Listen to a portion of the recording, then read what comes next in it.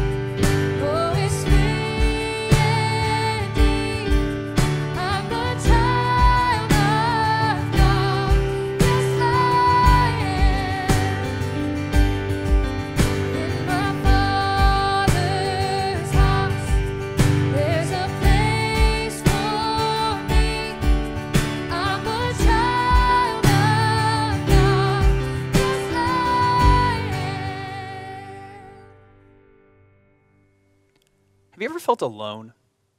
I'm not necessarily talking about being by yourself. What, what I mean is more of this feeling of being apart, right? We felt alone before in crowds. I know that I have, where you're around a lot of people and, and you just still feel alone. But the idea that you're lonely, this idea of, of being completely on your own, being completely apart from other people, not feeling as though anyone's on your side, this idea of loneliness. My name is Matt Knight, and I'm the minister to students here at Meadowdale Baptist Church. And I'm excited to get to bring the word to you this morning.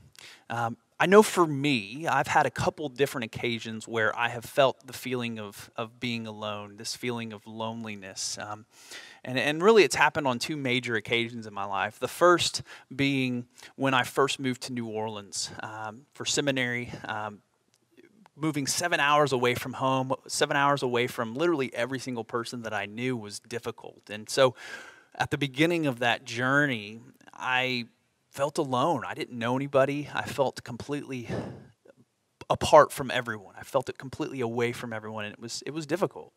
Uh, the second time happened about seven years ago and in a very similar way, and that was when I first moved here to Calhoun. Uh, again, away from family, away from friends, didn't know anybody. It was a, it was a difficult time. Now, both of those occasions were temporary. Both of those occasions were, were times where it didn't last very long. I, I got to know people, I, I made new friends, I, I built relationships with people, and the feeling went away. But honestly, those big situations are not often the only times that we feel alone. In fact, it's often the small moments in life, those moments that are connected to the rest of our life, that are the most difficult when we feel alone. Those moments when we just feel like nobody cares about us, nobody is on our side. And the question is then, what do we do when we have those moments? What do we do when we're not sure what to do amongst this loneliness? And I think first we need to understand why it is that those lonely moments are so difficult, why it is those moments of apartness are so hard. You see, we, if we look in Genesis chapter 2, verse 18, we see that it is not good for man to be alone. God says this uh, before he creates woman for man. He, he's indicating that man was built for community, man was built for togetherness. We're, we're built for connection with one another. And this is why when we're not in that community, when we don't feel that sense of connection, that we begin to struggle, that we begin to have a difficult time. And don't get me wrong, I'm an, I'm an introvert. I'm someone who enjoys being alone. I'm someone who recharges actually uh, when I am by myself. But there's a big difference between being alone and feeling alone, right? There's a big difference between getting to stay at home on a, on a Saturday night and watch Netflix and feeling like nobody is there for you, feeling like nobody cares about you. And so when we feel alone, a couple things happen. The first is that we feel like no one cares. We feel like nobody cares about us. There's nothing worse than that feeling of no one caring for you. There's nothing worse than that feeling of just being unimportant to others. We all want someone to be in our corner. We all want someone to be on our side. And so when we don't feel that, it it can be difficult. That lack of support can be something that's very, very hard to handle. And the second thing that tends to happen because of that is we feel overwhelmed by even the smallest of issues. We feel overwhelmed by every problem that comes our way.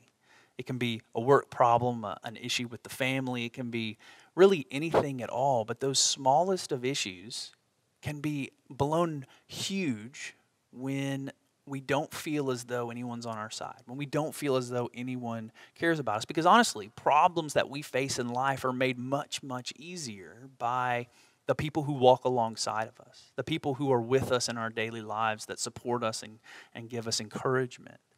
And so when those moments come when we feel alone, it's as though we don't know how to handle them. It's as though we don't have the support that we need to be able to overcome even the smallest of problems.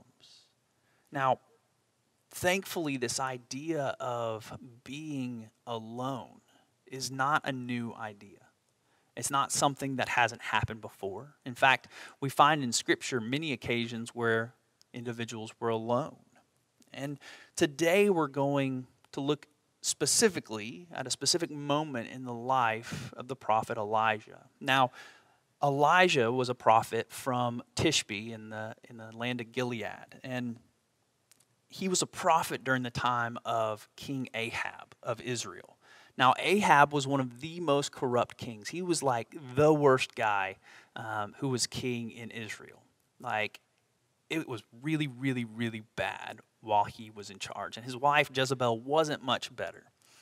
You see, Ahab worshiped Baal, worshiped Asherah, and according to 1 Kings chapter 16 verse 33, he did more to provoke the Lord, the God of Israel, to anger than did any other king before him.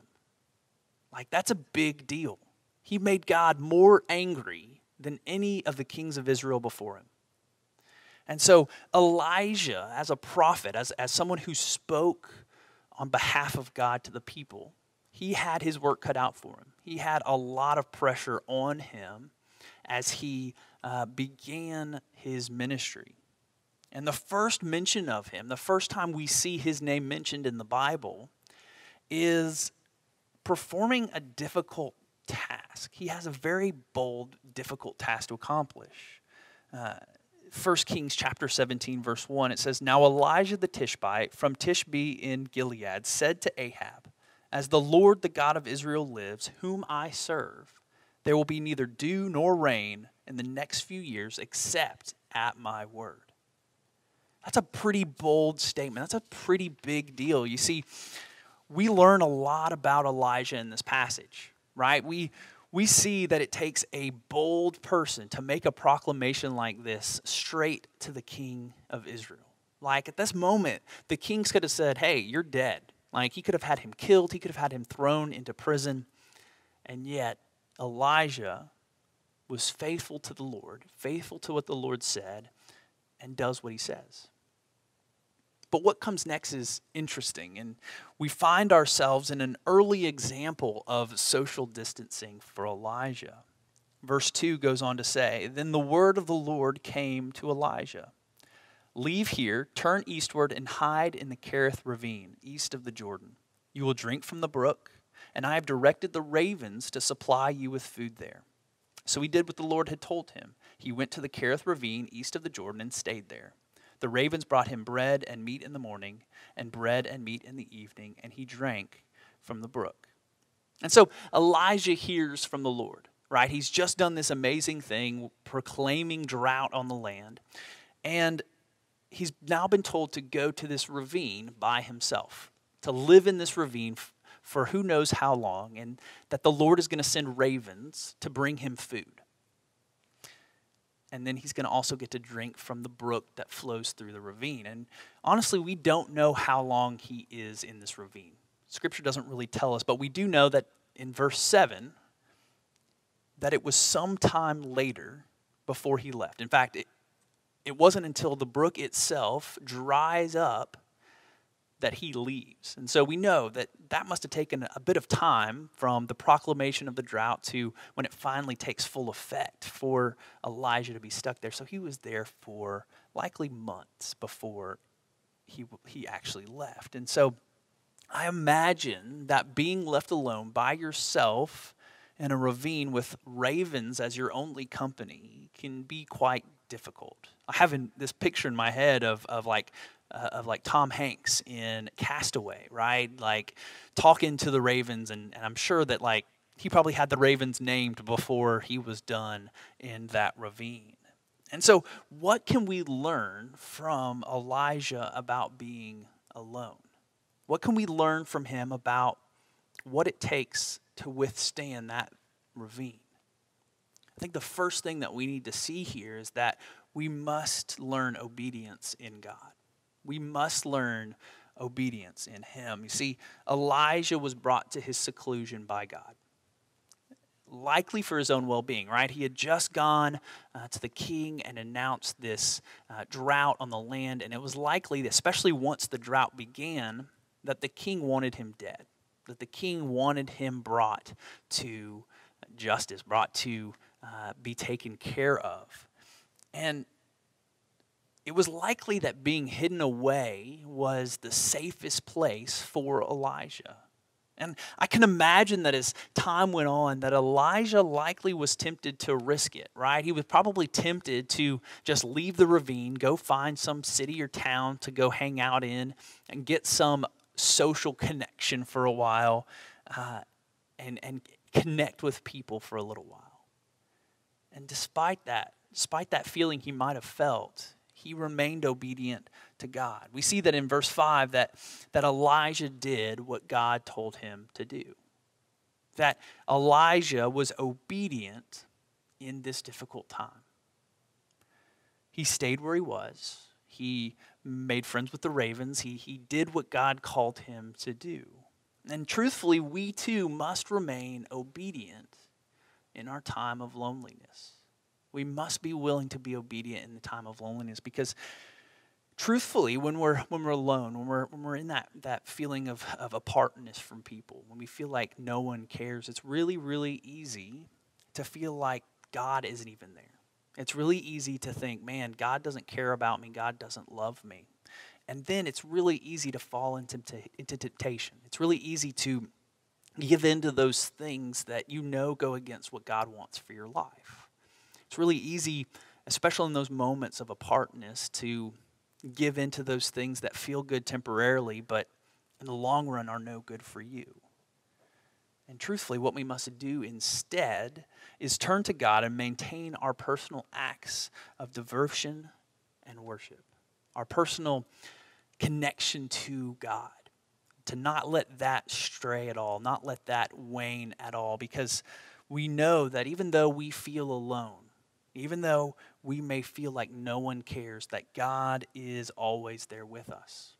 That no matter what, God is with us. That's the first thing. Secondly, we must trust that God will provide. Knowing that God is always with us, knowing that God always takes care of us and cares for us, helps us to remember that God will provide for us. See, Elijah was completely at God's mercy during this time, um, particularly for food, right? Uh, he had no food with him. He had no way of getting food as long as he was in the ravine. And so he relied solely on God to provide him bread and meat.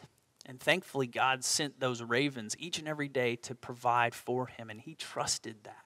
He trusted that that would be the case. And it can be scary to be completely reliant on someone else. It can be difficult to rely on someone else to take care of us. We're not very good at that, right? We like to have control. We like to have our say on how our lives are run. We, we like to be in control. And so it's difficult for us to say, you know what? I'm going to trust fully in you to take care of me. I'm going to trust you to take care of everything, and I'm just going to sit back and relax and let you do what you do. And yet, what we find is that when we do, God is completely reliable, He's completely trustworthy, and He will take care of us. He will provide for us, right? Jesus tells us that even the, the birds of the air, they have no, they, they, they have no uh, guarantee of food, yet God feeds them every day. And so we need to be like the birds and trust God. Not only that, Jesus tells us to come to God like little children. Why does he tell us that? Because little children rely fully on their parents to provide. Little children rely fully on their parents to take care of them, particularly in difficult times, particularly in those troubled times. And so we must come to God like little children, trusting in Him fully, relying on Him fully to provide for our needs, even the needs that we don't think He can take care of. It's in those times of loneliness, especially, that we must fully trust that God's going to provide. We must trust that He cares for us and has our best interest at heart. Because honestly, it can be difficult to wonder how God could bring us to this place, how God could allow us to get to that place where we feel so alone, where we feel so set apart. And truthfully, we can even despair because it can be difficult to trust that God cares for us. But we must trust His word. We must trust His word that He cares for us like His children. Like we are called children of God. We are adopted into the family, and God takes care of His children. So we must trust that He will provide for us. And then, third, we must trust that this time of loneliness isn't going to last forever. Elijah may have felt that his time in the ravine was going to last forever. He may have felt like he was never going to see another person the rest of his life. He may have thought that that was his new home and he was going to be there forever. But truthfully, his uh, seclusion, as we see in verse 7, it came to an end. He eventually left the ravine and, and interacted with people again and was able to move forward and serve God once more. And so we may feel like no one will ever care for us again. We may feel like we're never going to make it out of our seclusion. We're never going to make it out of our ravine. But if we trust God and we rely on God and we're obedient to God, we can know that the ravine won't last forever, that we won't be stuck there forever. And we're going to move past that time in our lives. We're going to move past that and have connections again. And how do we know that? Well, we know that because we trust God and we rely on Him and we know that He wants what's best for us. And we know from His scripture that it's not good for us to be alone. And so, because of that, we know that He is going to do what's best for us. He's going to care for us, and we will have connection again. Our time in the ravine won't last forever. And so, there can be many, many reasons why God may allow us to go through a time of loneliness, a time set apart from other people. He may be trying to get our attention, right? We have a habit of getting focused so much on the world, getting so uh, distracted by the things around us that we forget about God, that we forget that He's there. And so He may simply be trying to get our attention. He may be trying to say, hey, you need to turn to me. You need to look to me because I care for you. He may also want to strengthen us for the future, right? God uses tests and trials to prepare us for what's ahead, prepare us for the things to come. And so it may be that He's trying to strengthen us in those moments of difficulty, in those moments of struggle, in those moments of aloneness. And we need to allow Him to do His work in us. Or He may just be wanting us to rely fully on Him. You see, we have a habit, like I said earlier, to want control in our lives, to not rely on anyone, to not trust anyone but ourselves. And God says He wants us to rely on Him, He wants us to trust Him. And so He may be calling us to rely on Him fully, to not try to take things into our own hands, but to let Him take control. And honestly, whatever the reason, whatever the reason that you might find yourself in one of those valleys, those times of separation, those times of loneliness, it's important that we let the work of the Lord come to fruition. It's important that we let God do what He's going to do in our lives, let God work in our lives. So when you enter that time, we can do what God tells us to do in Psalm 46:10. Be still and know that I am God. Why? Because I will be exalted among the nations, and I will be exalted in the earth. That's why. He is God, and He is in control, and He does care for you and for me. And so be still. Trust that God is with you. Remain obedient to Him. Rely fully on Him, and know that He is God. Know that He's in control, and He loves you and wants what's best for you. He will take care of you even in the most difficult of situations. And so, if you find yourself today, if you find yourself in one of those moments, but you don't have that connection to God, you don't have that relationship with God, I want to encourage you that it's not too late, that God is there waiting for you. He offers you the free gift of salvation, the free gift of relationship with the Father. He wants to, you to know Him, He wants you to follow Him, He wants you to love Him as, his father, as your Father. And so it's, it's, it's so simple to accept that gift of salvation, and I want to encourage you to do that today. But as we, as we get ready to move into our time of response, I want to pray for us so that uh, we can begin to uh, work on things that God has for us to work on.